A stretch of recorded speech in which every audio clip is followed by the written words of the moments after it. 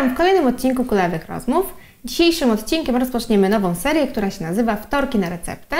Ta nazwa jest dosyć tajemnicza, ale zaraz wyjaśnię ją z moimi dwoma przyjaciółkami. y, Mają Piórek oraz Weroniką Matwiejuk. Y, A dzisiejszym tematem rozmowy jest y, co chciałabym wiedzieć o dzieciach, zanim sama zostałam matką. Wszystko się zgadza? Tak się mówiłyśmy? Tak. To dobrze. Bo to już któraś próba powiedzenia tego, więc wspaniale, że się udało.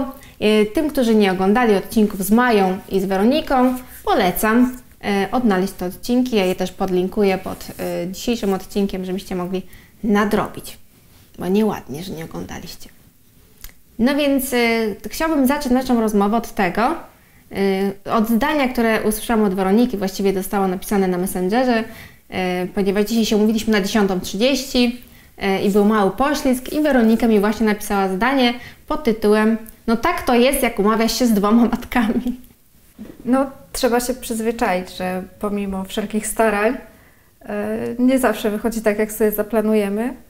I nawet jeśli już wydaje Ci się, że naprawdę wszystko, wszystko masz ogarnięte, wiesz, że dzień wcześniej spakowaną torbę, pampersy, butelki, wszystko ogarnięte, to życie Cię zaskoczy. Dziecko Cię zaskoczy, No ja także... potwierdzam. Katarek, co?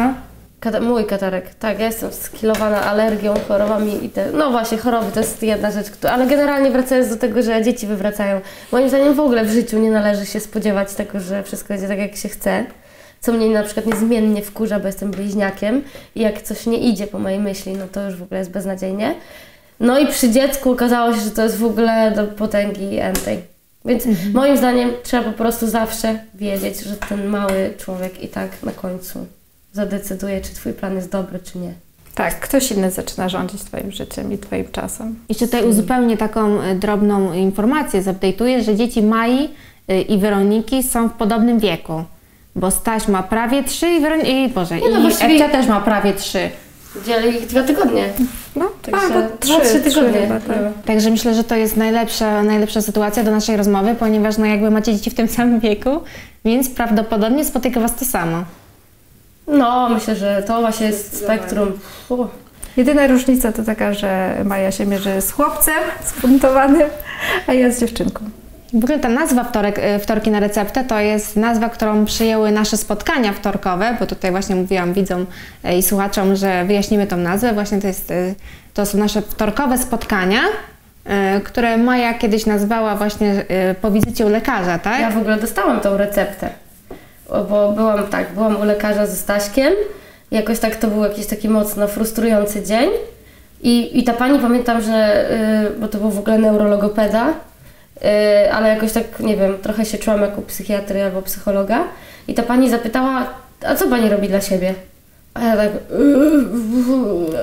"Yy, mam spotkania dzisiaj, mam wtorki, we wtorki się widzę zawsze z moimi dziewczynami na godzinę. Ona, no to proszę to wydłużyć y, do dwóch godzin i regularnie stosować. W związku z tym tak wyszło, nie? Tak. Że, że stosujemy regularnie. To są takie dni, y, w których my jemy bardzo niezdrowe jedzenie, co ja przypłacam zawsze większą ilością kilogramów, a Maja chudnie. Y, Zresztą tak jest od liceum chyba. A Weronika też konstant. Weronika tam... Nie narzekam. Ja e, Chociaż- pozwolę sobie nie skomentować. Weronika przez pierwsze pół godziny obiera pomelo, w związku z czym znika wszystko z misek i, i Weronika wraca na ostatki. Tak, i właśnie na tych, y, na tych wtorkach rozmawiamy o wielu rzeczach. No i między, inna, między innymi jest właśnie tak, że ja to bardzo lubię, bo ja jako jedyna nie mam dzieci i to jest zawsze taka sytuacja, że rozmawiamy o różnych rzeczach, tutaj obgadujemy mężów i tak dalej, i tak dalej. I nagle wpada w temat dziecko i po prostu ja lubię patrzeć, jak wy się tak podpalacie.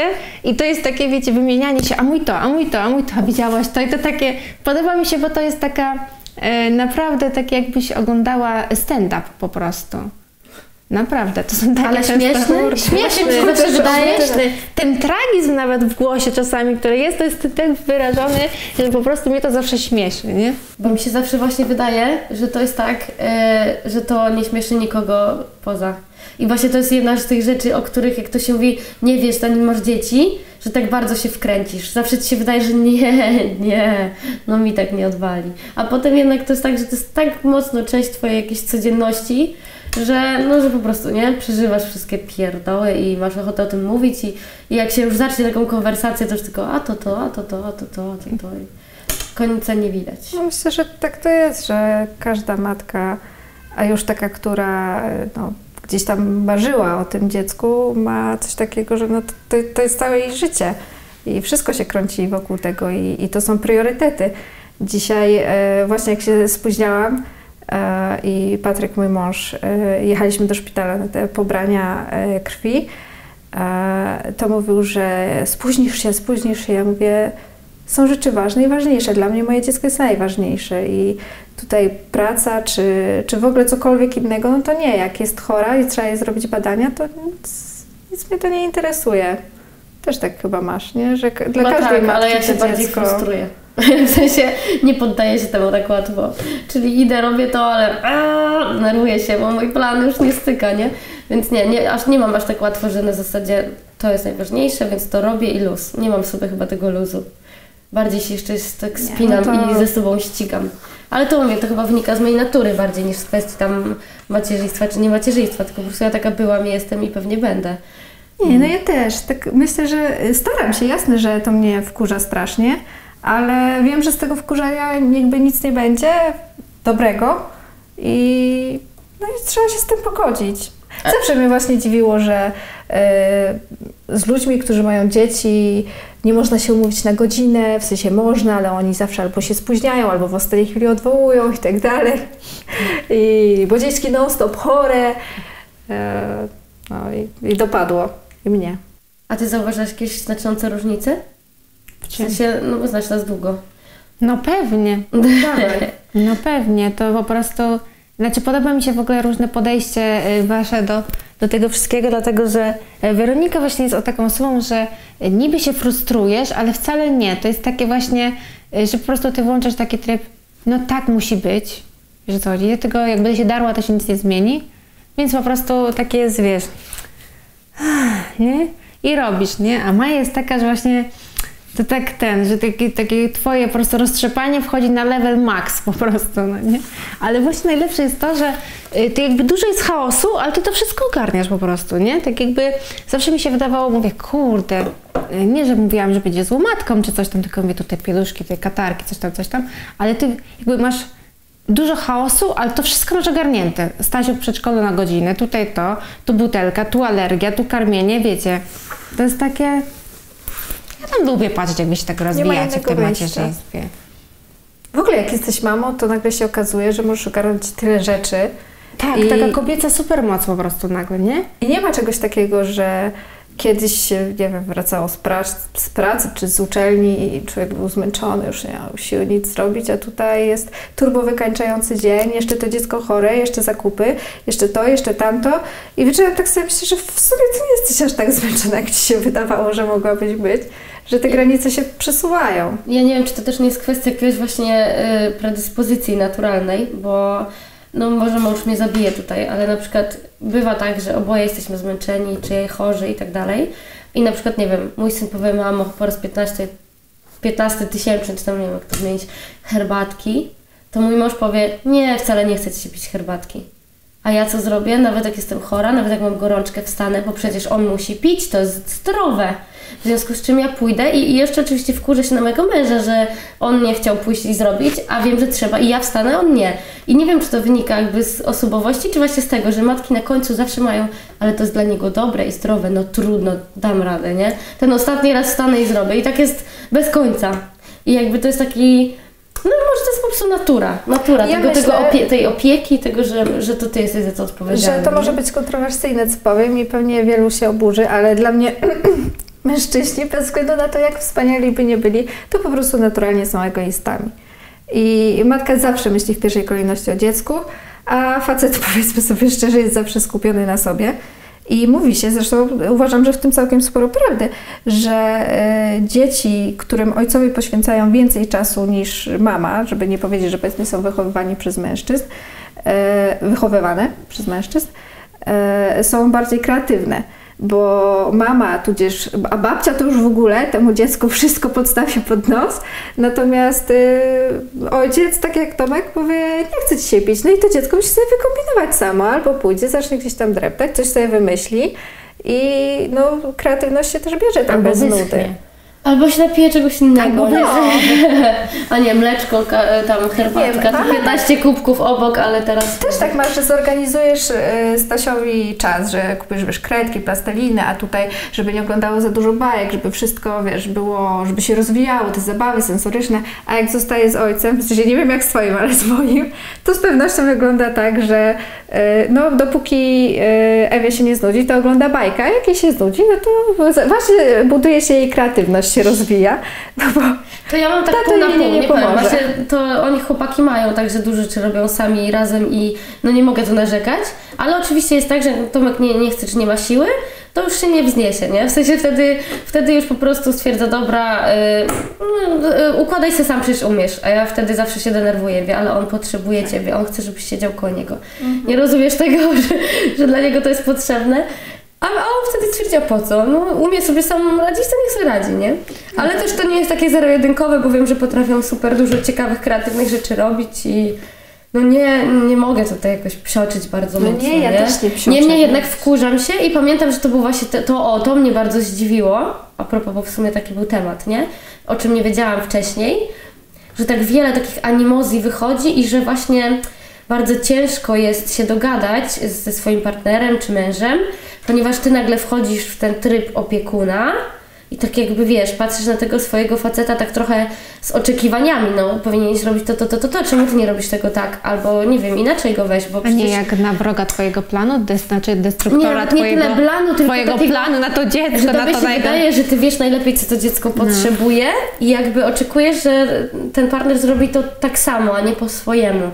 I tutaj bardzo trzeba dużo pracy, żeby się uwolnić od tego. Moim zdaniem ja miałam z tym problem. No więc mówisz, że Tomek z, ze Stasiem jakby sami y, potrafią sobie zorganizować czas. Tylko właśnie pytanie, czy sami? Y, Czy ty tak troszkę mówisz, y, no wiesz, bo wiem, że jeżdżą na basen na przykład, nie? Kto to wymyślił? Nie, nie, właśnie to ja już tutaj, nie, ja chyba bardziej na początku ingerowałam, jak był mały, czyli na przykład y, jak wychodziłam, zostawiałam tam jedzonko, że to mam mieć, to ma... Zresztą nawet słynna historia, którą znacie, tak, że raz byłam na naszym spotkaniu, to było jakoś wcześniej. Wróciłam, pytam, co jedliście na kolację? Nic, nie mówiłaś, że trzeba, że trzeba zjeść kolację. I ja wtedy e, szczena w dół, rozumiem. Czyli miałam zostawić po prostu cyk, cyk, cyk, nie? I to był pi- pierwszy taki właśnie e, jakby mm, skok na zasadzie, że oni się od, odzwyczajali od tego, że ja im nie zostawiam wszystkiego. Ale na przykład później to było tak, że nie, no ja się w ogóle tym nie przejmuję, bo oni sobie świetnie razem funkcjonują i basen był chyba nawet pomysłem Tomka bardziej. Zresztą on w ogóle z nim jeździł, bo ja mu od razu powiedziałam, że to jest dla mnie nie, nie do zrobienia. Ja czasami widzę, zresztą więcej widzę tatusiów jednak z dziećmi niż mam. Bo dla mam to wiecie, jednak w stroju kąpielowym, tam się wszyscy gapią. Mi się wydaje, że Jest to jest du- dużo więcej tego, że mama musi mieć odpoczynek. To swoją drogą, ale też jakby mi się wydaje, że dla facetów to jest jakby, dla nich oni tam tylko idą i ogarniają to, co... A dla kobiety to jest całe mnóstwo różnych rzeczy. A przy tym to całe przebieranie w szatni, to wiecie, no... Znaczy mi się wydaje, że byłby problem z tym, że wiecie, bo faceci po prostu jadą, rozbierają dzieciaczka, Tak. przebierają go w strój, Nie ma- rzucają do basenu, nie? A tam mama jeszcze, nie chcesz pić, jeść, siku? No. Nie, no to tutaj chrupasie, banan i tak dalej musi być. Ale y, no, ale chłopaki co sobie ogarniają, ja nawet sama jestem w szoku, że w ogóle cały czas kontynuują tą przygodę i, i, i jeden i drugi chce to robić i, i okej. Jeżdżą sobie po sklepach budowlanych, mają swoje ścieżki, w to im w ogóle nie ingeruje, to jest super. Bardziej tak właśnie w codzienności, nie? To są takie rzeczy, że ja po prostu szybciej, łatwiej wyczuwam, y, kiedy dziecko coś potrzebuje albo kiedy jest chore i co ten. No i mam oczywiście swoje oczekiwania wobec opieki. Y, no, No nie właśnie. zawsze, nie, ale no, to z tym trzeba sobie radzić. No to był dla mnie właśnie duży przeskok, takie e, ciągłe zamartwianie się o wszystko. Ja nie wiedziałam, że do tego stopnia można się zamartwiać i bać i właściwie, że to się nigdy nie kończy, nie? Nie wiem, czy tak miałaś, ale ja w ogóle, jak sobie myślałam o macierzyństwie, to oczywiście wiedziałam, że są ciężkie tematy. Niektóre to sobie nawet tak już z góry założyłam, że będą ciężkie, tak, bo ja tak lubię robić, że sobie z góry stwierdzić, że będzie gorzej i potem się ewentualnie miło zaskoczyć niż, niż odwrotnie. Tak samo miałam z, i z porodem, i z cestarskim cięciem, że wolałam stwierdzić, że będzie beznadziejnie i potem ewentualnie doświadczyć czegoś na zasadzie, o nie było tak strasznie. Nie? I tak samo z karmieniem, że na przykład nie należałam do kobiet, które przeraziło to, że to karmienie to wcale nie jest takie miłe i przyjemne i że jest trudno, bo ja zakładałam, że będzie hardcore, więc jakby w sumie wyszło całkiem coś pośredniego. Ale bardzo mnie zaskoczyło to, że ja się będę wszystkiego bać. Wszystkiego. Że ja po prostu będę jednym wielkim. Ja już w ogóle w szpitalu byłam jednym wielkim kłębkiem nerwów i to, to, to, to wręcz było takie, że ja nie spałam prawie w ogóle przez trzy dni i bałam się o wszystko, nie? O jedzenie, o to, że za dużo, że za mało, że coś tam, że tu się udusi, że tu się poddusi, że no po prostu o wszystko, nie? A ta krostka, a czy to już do lekarza, a czy to jeszcze nie do lekarza. Też, no nie wiem, czy ty tak miałaś, ale ja zupełnie inaczej. Początek dla mnie to było chyba. po prostu. Ja myślałam, że to będzie tak, o super, dzidzia będzie, będę tulić i nosić. Instagram. Nawet Wszystkie nie, tam zadowolone, Jeszcze wtedy, jeszcze wtedy uśmiechnięte, najpiękniejszy cud żyć, wspaniałe doświadczenie wydałam oto to dziecko. że Błogosławieństwo. już dalej będzie tylko lepiej, nie? Po porodzie, po tym wszystkim, Nie ma nic lepszego szpitalu. niż bycie matką. Tam uwielbiam na Instagrama zawsze jak patrzę na te matki, coś myślę, kurde, co ty, ty piarko masz tam z tyłu, nie? Bo tutaj widzę, bo wiecie jak to jest ze zdjęciem, nie? Tutaj frontena, z tyłu brud. Nie, i się czasami zastanawiam, tam bym nie płakałaś nie raz, a teraz cud macierzyństwa. No, dla mnie byłoby ciężko znaleźć kadr dobry przez wiele dni. Tak naprawdę, żeby mieć taki jeden dobry kadr, to byłby problem. A ty? Jak twoje doświadczenie, jeśli chodzi o taki strach, stres? Nie, ja zupełnie odwrotnie, y, ale y, nie wiem, czy, y, czy to nie jest związane po pierwsze z tym, że niespodziewanie przyszło mi się opiekować dziećmi podczas studiów jako praca dorywcza. Poza tym y, młodszym bratem się opiekowałam. Mama mi na bardzo dużo pozwalała. Ja, między nami jest 6 lat różnicy, więc e, no ja miałam 6 lat, jak on się urodził, ale pomimo tego mama pozwalała mi go e, trzymać na rękach, nosić bardzo się nim dużo opiekować. I kompletnie nie było we mnie takich lęków związanych, że a ja temu dziecku coś zrobię. E, I jakby kurde, właśnie pytanie mam, bo mówisz, że właśnie byłaś zaznajomiona z dziećmi, nie? Jak byłaś mała, to już od małego, wiadomo, już taka byłaś troszkę zaprogramowana, że wiedziałaś o co chodzi z tymi dziećmi, takimi niemowlaczkami i tak dalej. Ale czy właśnie byłoś tak, że byłaś nastawiona, kurde, no to umiem, to umiem, to, tutaj, to nic mnie nie zaskoczy i nagle rodzi się twoje dziecko i masz takie włączać się jakaś taka inna zapadka, bo czasami się mówi tak, że y, cudze dzieci to tak, ale swoje to wiesz, No tak. E, genialnym przykładem jest choćby to, że e, dzieci, którymi się opiekowałam, mi się wydawało, że to są aniołki w ogóle. E, nie chciałabym się wierzyć, że mamy tych dzieci opowiadały, że one potrafią robić jakieś histerie. I my, co ty opowiadasz? Przecież Martynka to jest aniołek. W życiu ona takiej histerii, historii nie, nie, nie odstawia. A, I czasem sobie myślę, tak, Martynka to była grzeczna, a ten mój to po prostu potwór wcielony. Chociaż pewnie mama myślała e, wtedy inaczej. E, Pewnie przy mamie Martynka była. no tak, zupełnie. W pełni zupełnie możliwości. inna, Tak, dokładnie. No. Bo to było tak, że ja się do tej ciąży i do posiadania tego dziecka bardzo przygotowywałam i e, dużo czytałam, przynajmniej może nie dużo.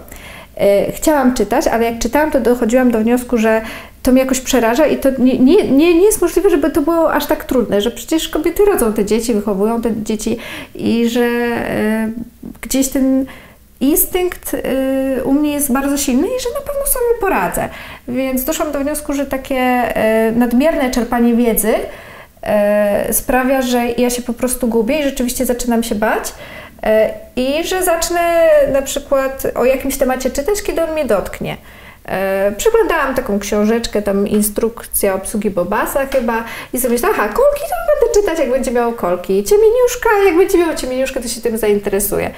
E, I chyba na takim dużym luzie podchodziłam właśnie, żeby... i co? E, Potem było? Wiesz co, no... Czy jak- jest potem czas czytać o tej już Fakt jest taki, że rzeczywiście jak w szpitalu, nie wiem jak Ty Maja, ja dostałam w szpitalu te niebieskie pudełka, te wszystkie książeczki do czytania i sobie myślę, powinni te wszystkie materiały dawać przed porodem, a nie po porodzie, kiedy ja nie mam czasu tego czytać, bo najpierw przesortowałam, dobra, to mi niepotrzebne, to przeczytam, potem to odchudzałam, potem oczywiście nic z tego nie przeczytałam, ale jak nastąpiła ta ciemieniuszka, to, no to zaczęłam szukać informacji, nie? No, ale czy był czas wtedy zdobywać tą wiedzę?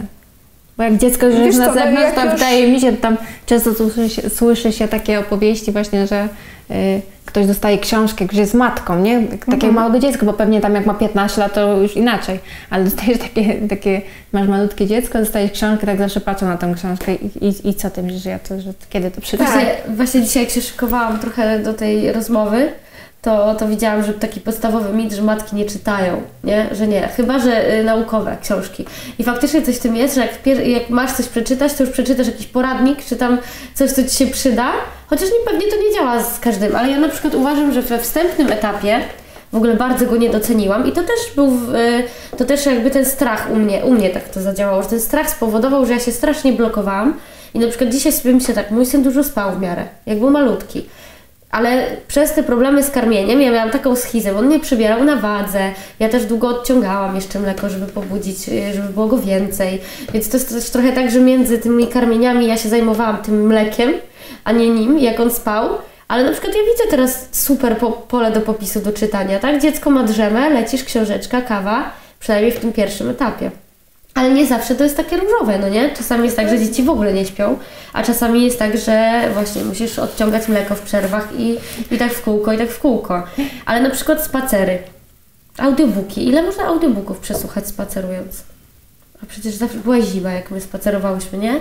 Nie szło nigdzie za bardzo usiąść, bo było zimno, ale mogłaś słuchaweczki. Ja się nie przygotowałam do tego, nie miałam słuchaweczek i żałuję dzisiaj. No widzisz, czyli to jest jedna z rzeczy, która... Uważam, że słuchawki na bluetooth. Każda powinna mieć. O, to jest to, czego nie wiedziałam i uważam, że gdybym wiedziała, to bym poprosiła na baby shower, którego nie miałam, albo ewentualnie po prostu w prezencie słuchaweczki na bluetooth. No bo ręce są na wagę złota, nie? Obie tak. przy dziecku. Dwie słuchaweczki, czy z kimś porozmawiać przez telefon, czy posłuchać audiobooka, czyli wchłaniać tą wiedzę sobie tak pomiędzy, albo po prostu relaksować się, nie? No, uważam, jest Jeszcze super. odpowiadając na Twoje pytanie, to nie nie tak, że potem był czas i brałam książkę i czytałam, tylko mówię, jak już się pojawiał konkretny problem, no to jak był problem, pojawiła się ta ciemieniuszka, no to wzięłam, znalazłam rozdział, aha, trzeba zrobić tak, tak i tak, no i, i okej, ale ja zawsze, znaczy zawsze y, byłam, y, wiedziałam, że y, żeby mojemu dziecku było dobrze, to mi musi być dobrze. I mm, jakby bardzo mocno dbałam o siebie i o to, żeby wewnętrznie gdzieś tam miała spokój i mówię, nie denerwuj się, bo ono czuje wszystkie Twoje emocje, takie coachowe trochę, No, Ale kurde, prawdziwe. no. ale y, no, y, raczej właśnie w tą stronę szłam, tak, tak intuicyjnie i A to o karmieniu? Temat o karmienia? Boże. Właśnie, co z tym karmieniem, nie? Bo tak się mówi właśnie, że karmienie Temat to jest rzeka. taki cud, nie? Że tak, że mieć tak blisko z dzieckiem, że to są takie piękne chwile, które warto zapamiętać i tak dalej. A ja pamiętam Was obie, jak karmiłyście, więc ja mam w głowie, że tak powiem, ten Obraz obraz, Mlecznej dosłownie, Doliny. To No, czy może- chciałabyś, żeby ktoś Ci powiedział, słuchaj Weronika, tam widziałaś na Instagramie, że to tak wygląda, ale kurde dziewczyno, co Ty przeżyjesz? Czy właśnie wolałaś być zaskoczona? E, No, oczywiście pierwsze te dni po porodzie to myślę, że jak u każdej kobiety, wiadomo, jakiś tam zastój, rozkręcenie tej laktacji. Ja się też nie nastawiałam, nie byłam taka, no, będzie mleko, to się będzie karmić, będą problemy, no to się będzie karmić butelką. Znaczy wiem, że jakby to jest najważniejsze. Zresztą w ogóle mam takie poczucie, że mamy, które się decydują powiedzmy z wygody na karmienie e, mlekiem modyfikowanym są gdzieś tam stygmatyzowane. W sensie, że to jest, że trzeba karmić pierwszą i koniec kropka i masz poświęcić wszystko e, i całe swoje zdrowie, bo, bo to jest dla dziecka dobre. No to psychicznie wykańcza czasami, prawda? A ja byłam znowu na luzie e, i w zasadzie u mnie problemem było to, że to mleko się pojawiło. E, i Pojawiło się po prostu w ilości jakiejś horrendalnej, bo e, no tak po prostu działa e, ten układ cały u kobiety, że jak dziecko z jednej piersi zsie, no to z drugiej po prostu pompa. tak, leci. I teraz y, to może kapać, może przeciec w płatka. U mnie tryskało po ścianach. No przepraszam, ale dosłownie tak. Jak mam łóżko u rodziców, na którym śpię, to mam wąskie przejście między ścianą i po prostu zdarzyło się tak, że, y, no, że to mleko po prostu tryskało wszędzie. Dzisiaj są kolektory. Właśnie. Miałaś kolektor? Właśnie nie miałam. Też szkoda. były, bo przecież to nie Były? było dawno. A ja nie wiedziałam wtedy o tym. Ale ja też nie wiedziałam i brałam taką plastikową miseczkę, podkładałam ją sobie pod pierś, tą drugą i do tej miseczki mi ściekało. Czasem mi się ta miseczka przechylała, bo ja ją jakby trzymałam piersią. No jeszcze przypomnij, Tutaj- że trzymasz dziecko. Tak, tego. jedną ręką I, trzymam i, I to dziecko. wcale też nie jest takie easy, bo tak jak nie wiem, nie wiem jak ty miałaś, ale to też nie jest tak, że wszystkim się wydaje. No trzymasz dziecko, karmisz. Dupa, Jasiu, karuzela. Tak, a drugą mieszasz zupę. Bo ja pamiętam, że w ogóle samo trzymanie dziecka to zajęło mi kilka dni, żeby ogarnąć i mało tego, to też pewnie zależy, nie? Czy masz problem z karmieniem, czy nie. Czyli ale kolejna mnie- rzecz, że- Kolejna rzecz. Pod Dziecko tytułem- musi się nauczyć trzymać, tak? tak, bo to jest tak, że to ty musisz się nauczyć karmić, ale też dziecko musi się nauczyć jeść. I na przykład możesz okazać, że twoje dziecko, nie wiem, nie lubi brodawki twojej, albo lubi jedną, drugiej nie, albo w ogóle nie umie jeść e, z piersi. Bo coś tam, bo ma słaby odruch stania, albo mój na przykład zasypiał po trzech sekundach. I mój był wieczny problem, trzeba go było w ogóle pobudzać, e, miziać w stopę, albo wręcz nawet nieprzyje, unieprzyjemniać mu ten proces, żeby on się denerwował i żeby się pobudzał. Trzeba go było wychładzać przed karmieniem, więc to było w ogóle okropne, tak, że go wybudzałam w nocy i musiałam go rozebrać, wychłodzić, żeby się wnerwił, żeby wytrzymał parę minut dłużej, bo spadał na wadze, nie? Więc i jakby w życiu bym nie pomyślała, ja zawsze, no trzymasz, no, no trzymasz, nie? Ale wiesz co, teraz ja też nie wiedziałam, patrzcie, no przecież już przeszłam z Wami ten, ten czas, bo widziałyśmy się wtedy intensywnie i przecież e, ani razu mi to do głowy nie przyszło. Jakby ten słuchaj, temat nigdy to- nie wyszedł, że trzeba się nauczyć karmić dziecko. Ja myślałam, że to tak jest, że po prostu się rodzi, bo na filmach No. tak jest. Dziecko się rodzi, kładzie i wszystko umie, nie? Wszystko Jakoś ty tam umiesz trzymasz, karmić. nie? tak, No tak. jakoś tam złapie, no umówmy się. Nie, to nawet Matka jak... to czuje. Ja nie? pamiętam, że Jak nawet to nakładanie, bo nie wiem, czy ty w ogóle pamiętam, bo ja miałam te nauki z panią od laktacji, Mhm. która próbowała nam pomóc, chociaż każda mówiła coś innego, ale to takie uczenie, że w ogóle wiesz, no w ogóle, o, sutek to kolejna rzecz wspaniała, nie? Po pierwsze, nikt nie mówi ci, że on leci z 15 dziurek, a nie z jednej. Ja zawsze myślałam, że to jest jak jajko do e, tego ośmigungusa dyngusa. Leci z jednego, a nie, że ty masz y, y, durszlak Tak. i z tego durszlaka naparza. Więc to dziecko nie ma złapać tylko takiego ogonka, tak jak ci się wydaje w buteleczce, tylko musi ten cały durszlak hapsnąć. I weź teraz tak zrób, żeby to malutkie dziecko, od którego z reguły nawet moja mikropierś była większa niż jego głowa, więc wyobrażam sobie w Twojej sytuacji, że to musiała być jeszcze większa różnica. I nałóż go tak jakoś tak, bo to trzeba było tak nałożyć to dziecko, jak jakiś taki, nie wiem, Pacmana po prostu na tą pierś. I to wcale nie jest takie oczywiste. I, i, i właśnie, i, i to jest jedna z tych rzeczy, taki mit, nie? Że po prostu, więc nie jest tak, że Ty sobie trzymasz tu miskę, tu sobie trzymasz dziecko git. I ja w ogóle, no mówię, mi zajmowało tam 10 minut, żeby je poukładać tak, żeby głowę miał dobrze, żeby tyłek miał dobrze, żeby też przy tym kręgosłup był dobrze, bo to tak wszyscy, nie? Mówili, że to jest ważne, no bo dziecko spędza jednak przy karmieniu dużo czasu, więc też wypadałoby je trzymać w pozycji jakiejś takiej fizjo poprawnej. No i kurde, to wcale nie jest takie łatwe. Ale czekaj, bo to nie wszystko. Tutaj dziecko, tutaj miska, nie, nie wiem, y, kojarzę, że ty chyba nie. Ja korzystałam, bo przez to, że to mleko zaczęło tryskać, no to y, Ewa zaczęła się dławić, bo ona była maleńka, no miała kilka dni, kiedy to się wszystko uruchomiło i rozkręciło i tak dalej. I ona nie nadążała połykać, więc w tym celu y, położna zaleciła ten taki kapturek. To jest taka nakładka silikonowa na, na sutka i tam się...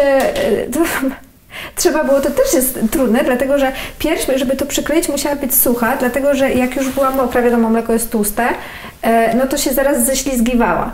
Więc e, najpierw wziąć to dziecko, żeby ona złapała tę pierś, żeby to mleko poszło, potem szybko nałożyć kapturek, ale żeby on się nakleił, a nie ślizgał, bo zaraz to już nic z tego nie będzie. Oczywiście wszystko ci cieknie pod spodem, tutaj już wszystko mokre, ręcznik jakiś że ja już sobie darowałam i potem jak już e, chyba próbowałam jeszcze jakby odstawić się od tego kapturka, ale stwierdziłam, że dobra, jak już tak je, jest nauczona z tego kapturka, bo to trochę inaczej, dlatego, bo Maja tak mnie, że musi złapać. No e, ja miałam inaczej, bo właśnie to dziecko moje, no to musiało łapać kapturka, no i ten kapturek jakby regulował tam, No pewnie tam gdzieś tam to tak. wszystko I tam była ta jedna dziurka jak w jajku. Tak, tam Nie, było, też było kilka. Też było kilka, ale w butelkach też jest w sumie kilka, nie? Nigdy Tak, nie tak. zwróciłam uwagi na to wcześniej. No Także ja może dla mnie to było, e, to był jakiś horror i właśnie Cud to była, karmienia.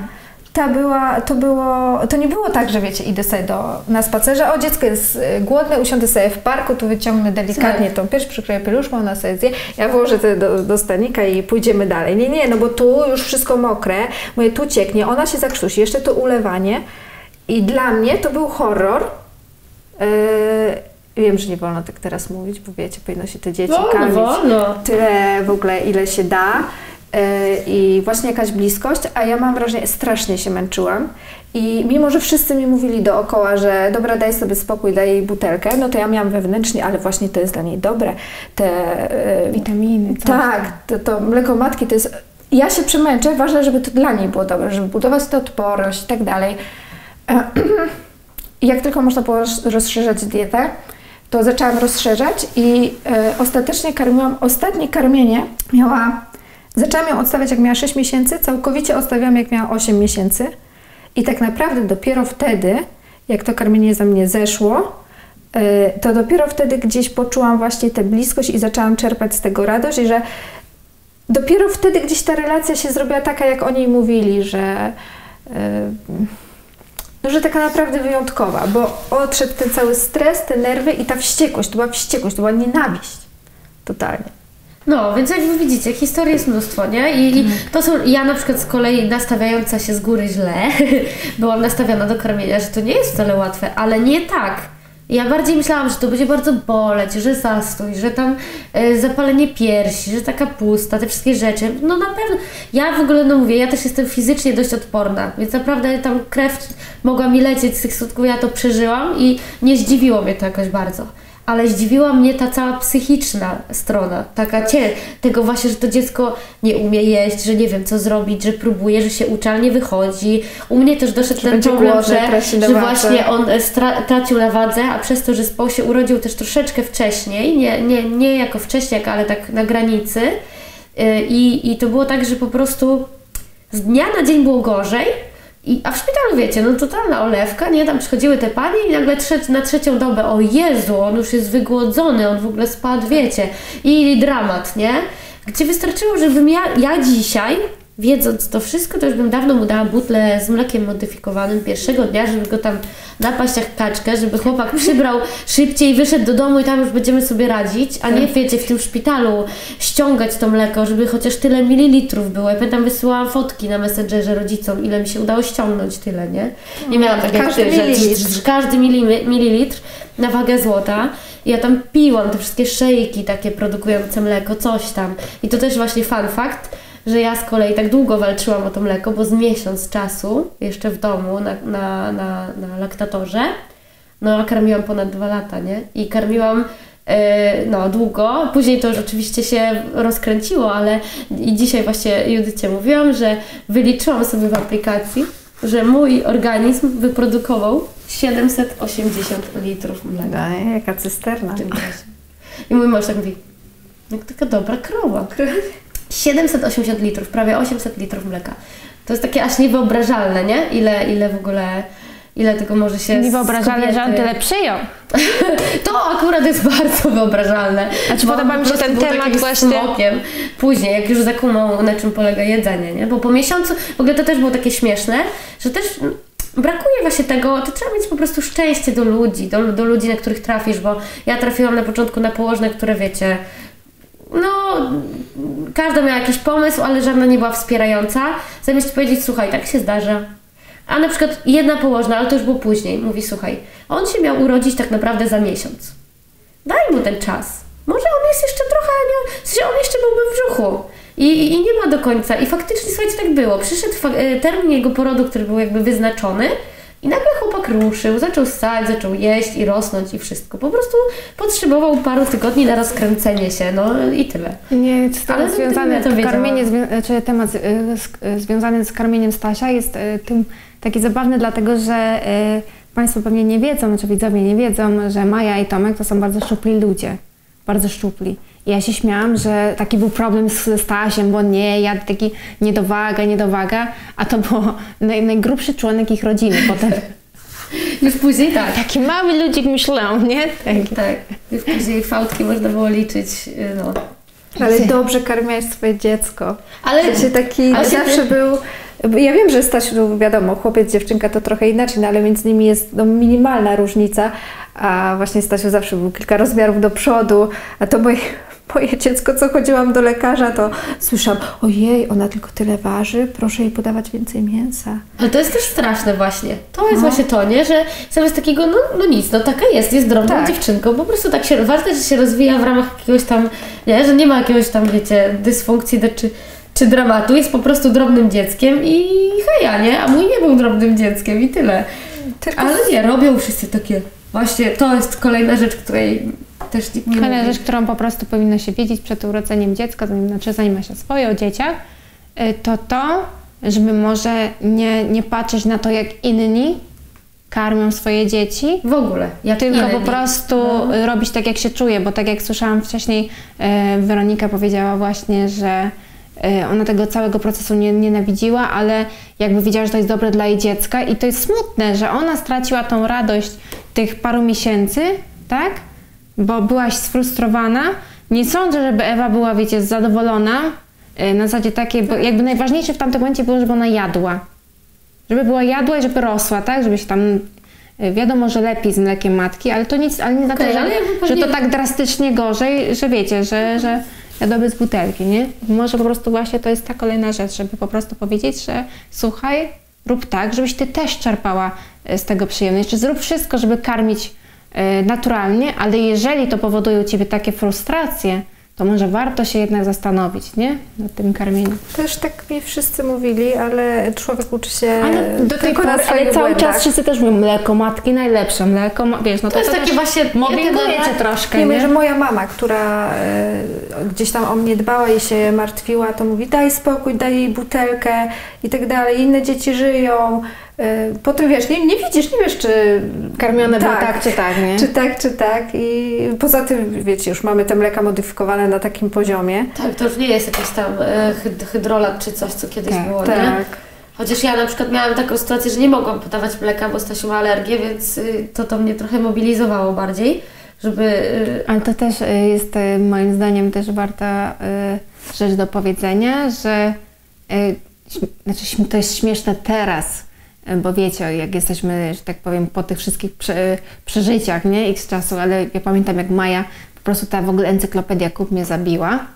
Czego? Kup. A, kup, tak. Tak, encyklopedia to zabiło mnie w ogóle, że Zdjęcia w telefonie też masz? Tak, Tak. dalej mam. Ja też. Zdjęcie w telefonie kup, wysyłanie sobie w ogóle i oglądanie z mężem tych kup. No To nie? jest w ogóle rzecz. Szukanie krwi w tej kupie i podoba mi się, znaczy w sensie to wiecie, to podoba mi się, wiem, że to źle zabrzmi tak ten, ale że Maja się właśnie martwiła, bo Staś miał krew w kupie, no i skąd to, skąd to wyszło, że z laktozy, więc Maja się przerzuciła na mleko roślinne, potem się okazało, że to mleko, które ty lepiłaś, Sojowe jest jeszcze gorsze. to jest jeszcze gorsze dla tego Stasia, nie? I taki wiesz, więc y, kurde, tylko jak to określić? Czy to można w ogóle wcześniej Właśnie druga sprawdzić? rzecz, która mnie przytu... W ogóle, żeby tak nie wyszło, to że byłam tak turbo przytłoczona, nie byłam jakimś bardzo chodzącym nieszczęściem, ale fakt, że strachów miałam dużo, to kolejna rzecz, która mnie zaskoczyła, to to, że tam nic nie jest pewne.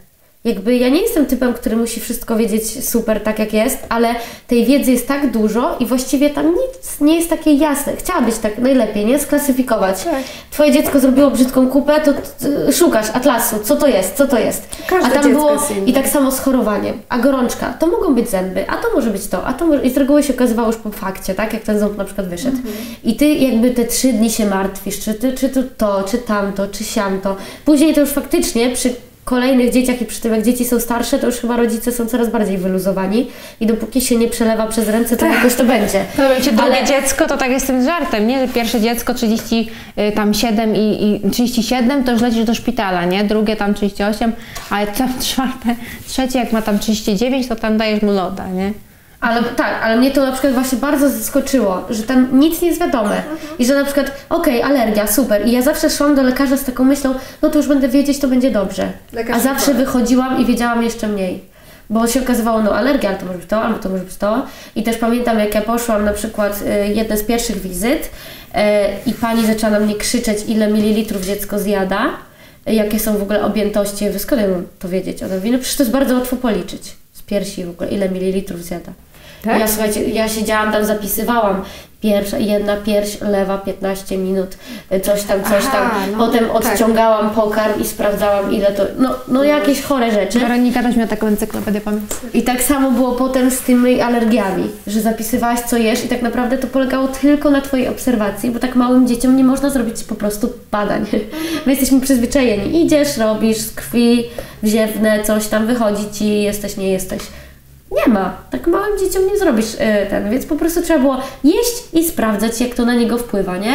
Ale no zjadłaś w międzyczasie mnóstwo innych rzeczy, więc to była dla mnie totalna schiza, ta alergia. Powiem Wam szczerze, totalna. Jeszcze tych rzeczy, jak się zrobiło więcej niż tylko laktoza, no to po prostu temat alergia to był też kolejne półrocze chyba, czy nawet więcej naszego życia, gdzie ja wszędzie chodziłam ze swoim kartonem mleka i z jakimiś tam, bo właściwie było tak, że gdziekolwiek nie poszłam, to na stole nie było dla mnie nic.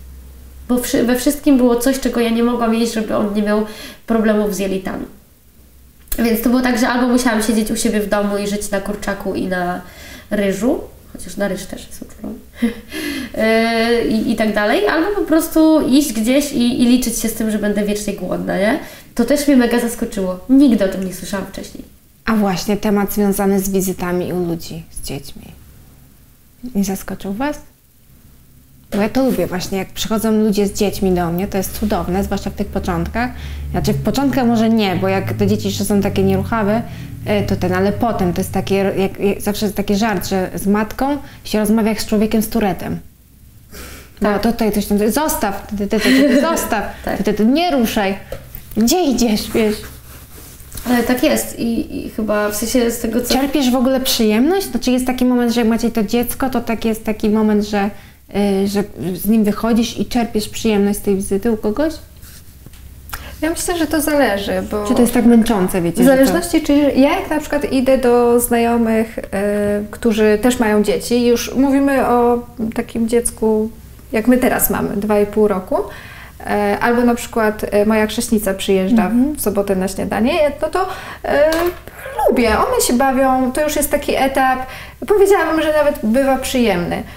Ale nie ukrywam, że jak y, mam iść do znajomych, to zdecydowanie wolę do znajomych be- bez dzieci, bądź z takimi powiedzmy dziećmi, że wiem, że to moje będzie mi trochę przeszkadzać.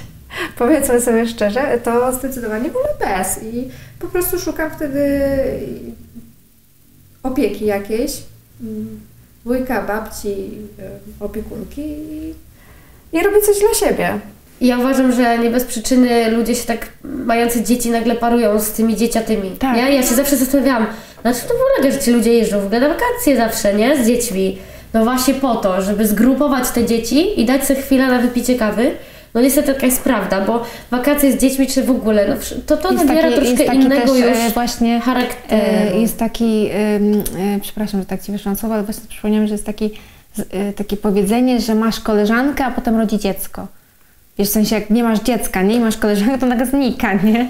Wiesz, bo po prostu chyba wtedy człowiek się przesuwa bardziej w tych znajomych, e, którzy, e, po, którzy mają tą podobną cechę, czyli mają dziecko, nie? Znaczy ja na przykład nie degraduję, e, nie degradowałam swoich znajomych bez dzieci, ale rozumiałam to, że oni mają prawo i już nie chcieć ze mną spędzać, tak, w sensie nawet nie tyle nie chcieć, co po prostu ten czas ze mną już może nie być dla nich tym samym, ale niestety tak jest i uważam, że to już trzeba zaakceptować. Bo to nie jest rzecz, wiecie, którą można łatwo zmienić i to po prostu, no tak to wygląda. Więc można oczywiście próbować zrobić to tak, że jak jest możliwość zostawić dziecko z tatą czy z kimś innym i spotkać się na osobności, ale kiedy spotykamy się razem, to ten czas już nie będzie taki sam i nie ma co się oszukiwać. I jakby ja nie mam pretensji do moich przyjaciół czy znajomych, którzy trochę się irytują tym faktem, że na przykład no y, jak dzieci były mniejsze, no to tam pod drzemkę, pod to, a pod spacer. Ja na przykład też mam taką tak, tak mi zawsze było głupio wewnętrznie, ale ja też jestem właśnie takim człowiekiem, który zawsze, zawsze mu jest głupio. że mam przyjaciółkę, e, spotykamy się zawsze we trójeczkę i, i też urodziłyśmy praktycznie w tym samym momencie i nasza trzecia przyjaciółka tak jakby zawsze była, wiecie, skazana na ten kontakt z, dwój, z, mam, z mamami dwój, małych dzieci. I ja zawsze tak siedziałam i o ile nam z Kasią było tak lżej, no bo jakby robiłyśmy to samo, tak samo te dzieci jadły te deserki i coś tam, wiesz. Ten rytm był taki trochę podobny, co prawda musiałyśmy zgrać tą dwójkę, ale to jednak, to ja zawsze mówię, Boże, biedna Gabi, spędziła z nami pół dnia i wiecie, tak naprawdę żaden temat niedokończony, tutaj coś tam odbicie, tutaj to, tak przerwane, nie? Ja, ja zawsze się tak martwiłam po tym spotkaniu, że w sumie to ona miała tak trochę dzień do kitu, nie? Ale no tak już po prostu jest i, i, i trzeba się z tym Mi pogodzić. się wydaje, że to jest zła ocena, nie? Bo ja też się z Wami czasami spotykałam, że te dzieci były. To jest po prostu inne, y, mm, inne przeżycie tego spotkania. To nie jest tak, że to jest złe, nie? Że to jest źle się spotkać z matką, z dzieckiem, albo z dwoma, albo z pięcioma, nie? Tylko po prostu chodzi o to, że troszkę się inaczej nastawiasz i rozumiesz, nie? Bo te dzieci też się starzeją, nie? W sensie rosną i, i są większe i też ta relacja też wchodzi, wiesz, na, na inny poziom i wracasz trochę do życia, nie? Nie, no ja też tak, wiem, że na tak. przykład ty wiesz, zupełnie inaczej nasza relacja wygląda teraz, niż jak były te miesiące właśnie tego karmienia i tak dalej. Po pierwsze, wiesz, no trudno oczekiwać od kobiety, która tutaj cały czas odmierza, liczy, notuje te, te mililitry i tak dalej, i tak dalej, do tego, żeby nagle, wiesz, potrafiła się w ciągu 10 minut przestawić na, na twoje tory tylko dlatego, że ty przyszłaś, nie? Trzeba dać temu czas. Więc nie sądzę, żeby ona była jakoś poszkodowana. Ale z drugiej strony też trzeba przyznać, że jest wiele ludzi, którzy czerpią z tego radość, nie? W sensie, ja na przykład mam wśród znajomych ludzi, którzy w ogóle tak jakby ze spotkania z moim dzieckiem czerpią drugą przyjemność, albo Tak. nawet wręcz przychodzą na zasadzie może nie, że do Stasia, ale tak trochę licząc na to, że sobie go ponoszą, albo teraz się z nim pobawią, on już jest teraz Ja bardzo Lego, dzieci. ja czekałam bardzo na ten moment, kiedy będzie można się pobawić Lego, bo to już jest taka zabawa, że wiecie, nie, o, dzisiaj oglądałaś filmik, nie, o, jaki piękny kamień, no to jakby umówmy się, że na początku te zabawy są mało śmieszne dla rodziców, tak? Ty tam pokazujesz mu świat, o, żyrawka, zobacz, ale prawda jest taka, że nuda. A Lego to już jest Lego, nie? Możesz, o ile Ci nie rozwali tego, co właśnie sobie skonstruowałaś, to, to, to już masz z tego fan. Przynajmniej tatusiowie tak samo, nie? Jak już wiesz, jakiś pociąg, jakiś mercedesik sterowany tym, no to to już jest, wiecie, już można się odnaleźć, nie? Ale właśnie pamiętam, że dużo było tak, że na przykład, nie wiem, mężowie, przychodziły koleżanki i mężowie tam nosili, tulili te dzieci, a my tam sobie paplałyśmy i no spoko, nie? W sensie, to też nie jest taki dramat, że, bo my tak wyszłyśmy z takich trochę, że, no bo to trochę ogranicza, no nie da się ukryć, no jest po prostu inaczej. Ale czy gorzej, to zależy, no. A teraz właśnie a propos y, takiego, wiesz, y, czasu i y, tego, y, bo tutaj zahaczyłaś właśnie o ten kamień, czy właśnie nie było taką rzeczą, y, którą się y, byłeś, wolałbyście wiedzieć wcześniej, żeby dzieci musieli jakby jedno zdanie powtarzać po prostu miliard razy, nie? Bo to jest takie, wiesz, zawsze mi się wydawało, że no nie wiem, że jestem w stanie jakoś wytłumaczyć temu dziecku, no nie, co to jest, na przykład nie, a, a po prostu ja czasami na przykład podoba mi się jak Stasia na przykład przychodzi, czy Efa i mówi, co to, nie? I już wiesz, to już 15 raz, kiedy wskazuje, nie? To, Już nie da się bardziej Ja dookreślić prostu przedmiotu. Mówię, kurde, podejdę do niego jak dorosłego człowieka, nie? I po prostu mu powiem, nie? Wytłumaczę. I potem się zdajesz sprawę, że jak powtarzasz to 15 razy, to masz po prostu ochotę powiedzieć, bo tak, nie? Już nie pytaj. Tak jest. Przynajmniej u mnie to jest totalnie ten etap teraz. U Was. Jest, y, mamo, co robisz? Mam sobie ochotę odpowiedzieć wtedy, odpoczywam. Bo robię na przykład, wiecie, rozpakowuję zakupy, robię obiad, jeszcze pralka piszczy, że skończyła prać, zmywarka piszczy, że skończyła. Ale jak odpowiesz, to jest dalej? Czyli za to minutę. Nie, za minutę. Ogólnie y, rzeczywiście, jeśli chodzi Ewa na pytanie co to, to y, szybko akceptuję co to jest i w ogóle i zaskakujące dla każdej matki jest tak, że jej dziecko jest najlepsze, bo ostatnio właśnie taką, ja ją karmiłam i ona tak zwinęła taką, taką tackę okrągłą, tak w rulon i tak przykłada i patrzy i mi, patrz, teleskop. A mi tak szczęka opadła do podłogi, w życiu to takiego słowa nie użyłam. Bajki. Pewnie no mówię, albo z bajki, Bajki chyba ze też. żłobka, bo coś mówiła o pani Izie. I e, także ona szybko chwyta takie rzeczy, ale e, właśnie często pyta, mamo, co robisz? Tato, co robisz? I to, jest, I to jest takie śmieszne, póki jestem zrelaksowana, a jak jestem sfrustrowana, to sobie myślę, Ale to jak wszystko. To w ogóle dzieci, moim zdaniem, to jakby to, to jest taki papierek lakmusowy na emocje i na wszystko, co jakby w życiu jest, tylko człowiek tak nie zwracał na to uwagi, a dzieci niestety to wyciągają bardzo na wierzchu. Czyli ja zawsze tak sobie mówię, że to, jaki mam pełny zbiorniczek mojej empatii, mojej, mojego spokoju, mojego odpoczynku, bardzo widać jakby w relacjach z dzieckiem, bardzo, nie? Jak mam pełen, jestem wypoczęta, to ja naprawdę potrafię 55 raz powtórzyć, wymyślić kreatywną zabawę, y, zaproponować 15 posiłek, jak ten 14 nie, nie, nie, nie wejdzie, wiecie, coś tam, coś tam, nie? A jak nie mam tego, to potrafię po prostu po trzecim razie już wybuchnąć i powiedzieć dziecko daj mi spokój, bo na przykład, i wtedy jak to mówię, stać się matką taką, jaką bardzo nie chciałam być, nie? Czyli wszelkie moje założenia pękają i w tym momencie nagle zaczynam wychodzić poza ramy tego, jak chciałam to dziecko wychować, czy, czy, czy mówić, czy się odzywać, bo niestety nie zawsze po prostu mam na to wewnętrzną siłę a nie mam skąd jej w danym momencie wziąć, nie? trzeba pamiętać, że matka to też człowiek, prawda? Tak, też masz prawo do tego, żeby jakbyś była robotem, to byś zupełnie nie była, wiesz, to nic by nie było y, mówione, nie? Ale ty jesteś po prostu człowiekiem, więc masz prawo czasami coś... Właśnie to jest też moim zdaniem rzecz, którą ludzie powinni wiedzieć, nie? Że masz prawo nie być idealna. Masz prawo. Bo wiadomo, że czytasz te książki i ci się wydaje, kurde, jak się przygotowałam. Nie, jeszcze się naglądasz tego Instagrama, gdzie te matki w ogóle wyglądają. prostu wszystko ma po, poukładane, wiesz, jak możecie, jak możesz sobie nie radzić? Musisz, to jest zła organizacja, nie? Wiesz, i potem, ale, że po prostu wiedzieć, że masz prawo nie dać rady na przykład. Tak. Albo I poprosić o pomoc. Prosiłaś o pomoc? Prosiłam. Prosiłam. E, Panią Renię prosiłam, mama Judyty, bo akurat mieszkałyśmy wtedy za ścianą, to chociaż e, pewnie jakbym zapytała swoją mamę, to by powiedziała, że raczej jestem z tych, którzy udowodnię, że sobie sama poradzę.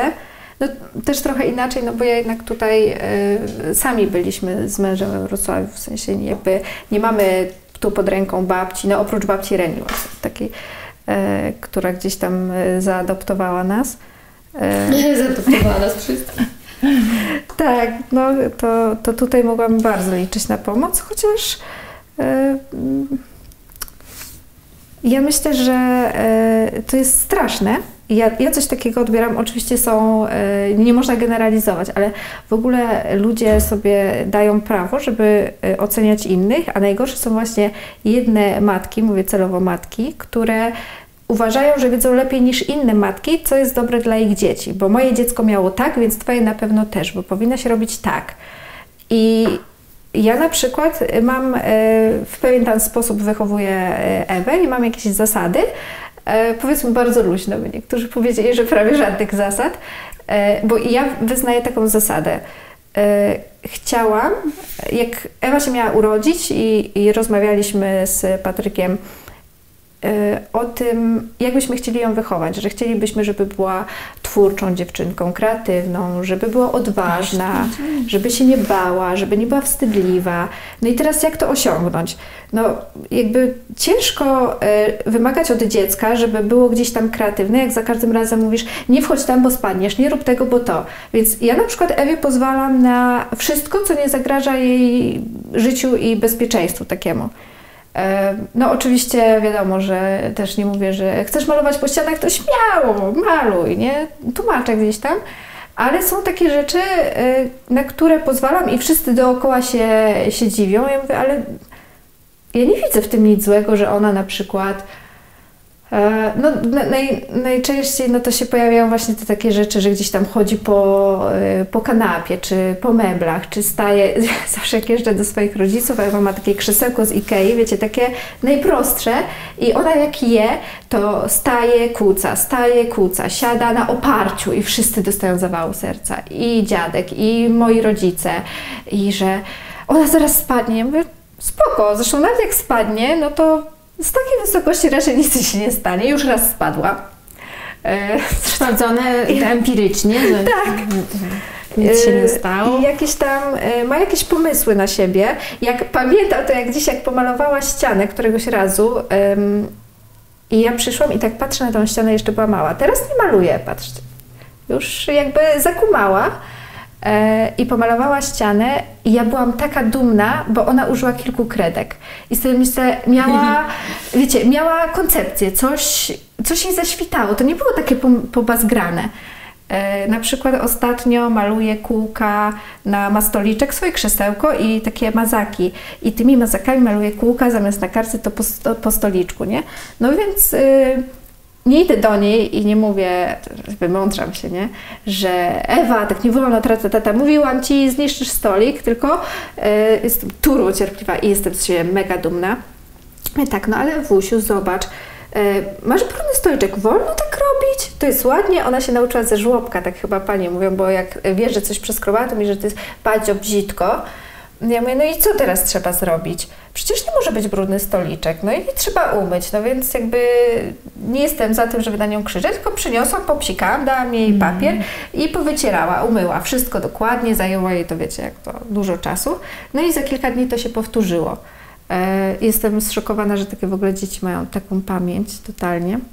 E, I mówię, Ewusia, no ale rozmawiałyśmy na ten temat. No i e, ona znowu wyciera ten stoliczek i mi tak przepraszam. I to jest taki, wiecie, taki, że tak sobie myślę, no przepraszam, maluj sobie po stoliczku. Maluj sobie Kupimy dziecko. nowy.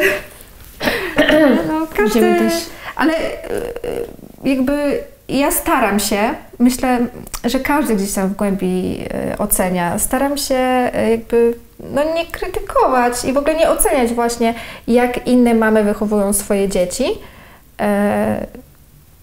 I oczekuję, że ktoś nie będzie komentował, jakie ja podejmuję decyzje, bo z konsekwencjami tego będę ja żyła w przyszłości. Jeśli ja rozpuszczę swoje dziecko w cudzysłowie i ono mi, nie wiem, e, powie to i owo za 18 lat, no to, to ja się będę z tym mierzyć. Teraz się czuję Nie zawsze.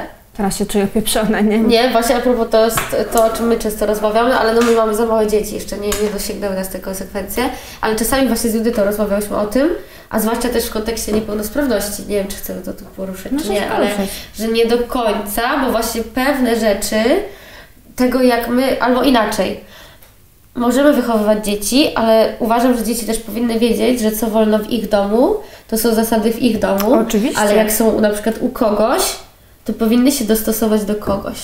A najgorszym jest to, że ja wychowuję dziecko tak, ono sobie przychodzi do kogoś i odwala manianę, Nie, a nie, rodzic... nie, no to no, wiesz, to, to są dwie To- różne tak, rzeczy, nie? To Ale to dobrze, niestety... że to powiedziałaś, bo e, absolutnie tak nie jest, że jeśli ja na coś pozwalam u siebie w domu, to znaczy, że przychodzę do Judyty i wiem, jakie są zasady i dyscyplinuję to swoje dziecko i no i będzie w taki sposób, u, u tak, jaka jest potrzeba akurat, bardziej bądź mniej. Znaczy ja tutaj chcę tylko wspomnieć, bo Maja powiedziała, że a propos niepełnosprawności, to ja często powtarzam, że właśnie dla mnie bardzo ważne jest, żeby dziecko było posłuszne w moim domu, e, dlatego że po pierwsze mam te różne rzeczy, które są szklane, może sobie zrobić krzywdę, ale to chodzi o to bardziej, że e, dzieci muszą czuć do mnie respekt, trzeba je uczyć tego respektu, bo ja jestem najsłabsza wtedy w tym całym towarzystwie, tak? Jestem słabsza nawet od tego dziecka. Po prostu ono y, musi wiedzieć, że przy mnie niektórych rzeczy nie można zrobić, dlatego że ja mogę jej niechcący zrobić krzywdę. Tak, jakieś szarpnięcie za wózek, jakieś niekontrolowane czy coś takiego może spowodować, no już tam kij, że ja spadnę, ale że ja mogę fizycznie coś temu dziecku zrobić, jak na nie spadnę, tak? Więc to są takie rzeczy, które, y, czy na przykład jak ja trzymam gorącą herbatę, to żeby mi nie szturchać, bo ja mam troszkę inny chwyt, tak? Więc to jest dla mnie ważne. A już tak będziemy trochę zamykać ten temat, bo ja wiem, że możemy na, ten, y, na temat tych rzeczy mówić milion razy, ale chciałabym właśnie poruszyć y, rzecz, która mnie zawsze tak zastanawia, czy ludzie się spodziewają, y, że to przedszkole to, to, to nie jest tak, że czy ten żłobek to to nie jest tak, że jak sobie załatwisz żłobek, bo ja wiem, że tam z dostaniem ci do żłobka to zawsze jest cyrk, y, tam wyczekiwanie po prostu jak na dostanie się na Oxford po prostu, każdy tam sprawdza, odświeża i tak dalej, ale właśnie, bo mi się zawsze wydawało, że załatwiasz sobie żłobek i masz luz, wiesz o co chodzi, pięć dni masz luz, a potem się okazuje, że nie, nie, że dziecko na przykład w ciągu miesiąca było tam trzy razy, nie, i jak, jak w ogóle, czy jest się człowiek w stanie przygotować na to, że właśnie, że w- no nie wiem, taki plan awaryjny, że to dziecko będzie tylko trzy razy w tym przedszkolu, nie? Że to się potem okazuje, że to nie jest tak, że, że tam idziesz, go zanosisz i on jakby sobie radzi, nie? Tylko tam w tym przedszkolu jest Sodoma i Gomora, od owsików, po katarki, To jest w ogóle chyba odrębna księga, Tak. nie? Że jakby Gruby temat na koniec, już zamykamy, a to taki temat na godzinę. No ja uważam, że z jednej tak strony... krótko go podsumujmy, nie? Y, Bo to też jest tak, że on funkcjonuje trochę w, y, w światopoglądzie jako albo coś wow, super, że no, żłobek rozwija dzieci czy tam przedszkole, albo coś takiego, o jak to mogłaś oddać dziecko, z dzieckiem powinno się być jak najdłużej, że bo wiesz, to, że to mu szkodzi i tak dalej. To abstrahując od zdań na ten temat, ja osobiście jakby uważam, że każdy powinien właśnie zrobić według siebie, według potrzeb rodziny, dziecka i tak dalej. Jeśli jest dziecko, które potrzebuje być dłużej z mamą, a mama ma do tego możliwości, spoko jak najbardziej, ale żłobek, no ja bardzo, bardzo, rozwój mojego dziecka w, w żłobku był ogromny. E, Taki i psychospołeczny, i taki w ogóle. No, no po prostu to jest takie, jakby nabie, dziecko nabiera dużego tempa, no bo nagle ma styczność z tymi rówieśnikami, tak? I, Uczą się i też nawzajem, nie? jest zupełnie inny rodzaj interakcji niż, niż mama dziecko, ewentualnie dzieci na placu zabaw, czy tam gdzieś tam. Ale to, ile dziecko choruje, to jest loteria po prostu, tak? Jedni mają tak, że dziecko jest co tydzień chore i że wraca na trzy dni i znowu chore. Inni mają troszkę dłuższe dystanse. Ja w sumie czuję się w miarę szczęśliwa, chociaż mieliśmy parę epizodów, że już naprawdę miałam dosyć, ale prawda jest taka, że chyba więcej chodził niż nie chodził. Ale to jest frustrujące, że pomijając fakt, że płacisz dużo pieniędzy, zwłaszcza jak ci to jest placówka nie w pełni publiczna, o czym też jakby należy wspomnieć, że nie tak łatwo się dostać do publicznej. My teraz jesteśmy szczęśliwe, bo dostały się nasze dzieci do przedszkola, więc to jest jakiś cud. Do tego samego. Nawet do tego samego. Ale w ogóle, yy, więc to jest jedno, tak? Że płacisz yy, czesne, płacisz yy, gdzieś tam zajęcia, a na przykład tego dziecka nie ma. Dwa, że ja miałam takie wieczne poczucie straty wtedy. O Jezu, były alpaki. A Tak, moje dziecko no, tu ze mną siedzi w domu i mi robi tylko Saigon, a ja na niego krzyczę, żeby to posprzątał. Te nie? zajęcia jej A przypadły. tam tak, i tylko widzisz, ty, no i to jest takie wkurzające. A druga rzecz jest taka, że no właśnie, ta skala tego syfu, który dzieci sobie sprzedają jest duża i zresztą Wy chyba z Patrykiem też odchorowaliście parę takich fal, nie? W sensie, że rodzice potrafią po prostu polec. Nasz system odporności jest bardzo, yy, wiecie, yy, zaprawiony w boju, ale to, co dzieci nam przynoszą, nas totalnie rozkłada na, na łopatki. Więc, więc yy, no to, To, fakt, jest że te dzieci ze żłobka, e, czy tam, ja nie wiem jak z przedszkola zobaczymy, że właśnie przychodzą i zara- zarażają rodziców, nie? Że No. już wydaje Ci się, że jesteś dorosły, że masz ten układ odpornościowy, że jak ten maluch jest chory, no to się nim opiekujesz, a się okazuje, że Ciebie też rozkłada. Tak, jest taki jakieś- e, stand-up Abelarda Gizy i on tam właśnie mówi taką historyjkę, że tam przychodzi tam Kasia do przedszkola, już nie będę cytować dokładnie, bo to tam to niecenzuralne, ale przychodzi Kasia, tam kicha na Pawełka, Pawełek kicha właśnie na jego córkę, ona przychodzi, kicha na niego, on kicha na żonę i potem trzy dni później patrzy w telewizji i prezydent kicha, nie? No, tak, tak. To coś, coś w tym jest. I to tak leci. A druga rzecz jest taka, to magiczny telefon. Ja, uważam, ja na przykład zauważyłam to w pracy, u mam zwłaszcza. To, to też już tak widać właśnie, taka się tworzy trochę subkultura mam, bo wszystkie tematki, to już, to już nie jest tak, że idziesz na kawusie. Ty masz z tyłu głowy, że jak Ci telefon zadzwoni, to to może być żłobek, a jak żłobek, to znaczy, że niedobrze. A jak niedobrze, to znaczy, że 3, 2, 1 zawijasz się z roboty. I to już jest coś, co zmienia Twoje życie na zawsze. Po prostu. To jest takie, nie? Takie coś, że po prostu... Ja pamiętam jak, jak dziś, jak zadzwonił do mnie pierwszy raz telefon ze żłobka, gdzie wcześniej nigdy nie dzwonił i jak coś to były SMS-y. I sobie się, o, jak już dzwonią, to znaczy, że zemdlał, nie? Odbieram, no bo tutaj przyjechały pączki, a Stasiu ma uczulenie i nie wiemy, czy może zjeść pączka. A ja już wiecie, o, nie, ale to jest takie coś w połowie drogi do już idziesz do pracy i za sukces uznajesz to, że w niej dotrwasz te 8 godzin, nie? To już jest po prostu inny w ogóle, gdzie kiedyś było tak, że szłaś sobie do pracy i o ja pierdzielę 8 godzin, nie? A teraz się cieszysz w ogóle, że zdążyłaś do pierwszej kawki. O, druga kawka, no nieźle mi idzie, nie? A o tydzień, no nie no, rewelacja, jest już tydzień w żłobku, nie? Półtora tygodnia, nie, no to już pobiliśmy rekord, nie? Ale ja nie w jest ogóle tak? uwielbiam chodzić do biura i do pracy. E, w ogóle Ewa zaczęła chodzić do żłobka jak miała 10 miesięcy, i, a ja chwilę później zaczęłam pracę. I to był taki moment, że wiecie, że to dziecko zaczynało stawać pierwsze kroki, trzymało się nogawki i chodziłam do biura i słuchajcie, 8 godzin nikt nie jadł z mojego talerza. Nikt nie chodził za mną do łazienki i to, to po prostu była taka ekscytacja, wiecie, że człowiek się czuje taki Wolny. Postawię sobie tu i to tu jest i tu mi zniknie, bo mi koleżanka nie zje tego z mojego To jest talerza. nie? Idziesz do pracy i czujesz się wolny. Na etacie. I ja na przykład jestem zdecydowanie mniej zmęczona, jak chodzę do pracy yy, na etat, jakby ja 8 godzin pracuję, potem zrobię zakupy, przyjdę do domu, pranie i tak dalej i wieczorem jakby jestem mniej zmęczona, jestem zmęczona, ale jestem mniej zmęczona niż na przykład jak Ewa jest chora i jestem z nią w domu i, i w zasadzie nie robię nic, tylko siedzę, nie? Siedzę z paradoksalnie, a w międzyczasie 8 pralek i takie tam, i takie tam. Ale podoba mi się też stwierdzenie właśnie, że często ludzie mówią, ona siedzi tylko z dzieckiem. Tak. Ale wiecie co? To jest właśnie kolejna I rzecz, zawsze piję ciepłą kawę. której nigdy nie rozumiałam. Chociaż z tą kawą to też różnie, bo wiem, że faktycznie są osoby, które pijają ciepłą, chociaż nie polecam, bo wtedy dziecko się może oparzyć. Ja rozpiłam ciepłą herbatę i to się źle skończyło. W każdym razie jakby tego też nie jesteś w stanie zrozumieć. Bo mi się też tak wydawało, że to idzie ogarnąć. No skoro jesteś z tym dzieckiem, to faktycznie ogarnąć. A czasami jest tak, że naprawdę ciężko jest coś zjeść. Przynajmniej ja tak miałam w tych pierwszych etapach.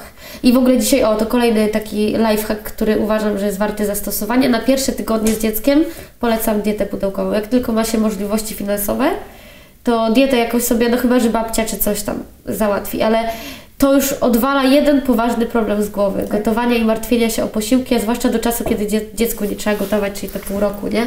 To, to kiedy ty jakby jesteś y, jego karmicielką, tudzież butla, i musisz zadbać o siebie. Bo ja Tak. pamiętam, że ja miałam tak, że potrafiłam po całym dniu nic nie zjeść, a na przykład moja przyjaciółka była bliska mdlenia i przypomniała sobie, że od 20 tam iluś godzin nie zjadła, nie?